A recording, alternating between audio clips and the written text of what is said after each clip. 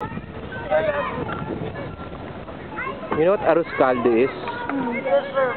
You know arroz caldo and tinola are pretty much the same.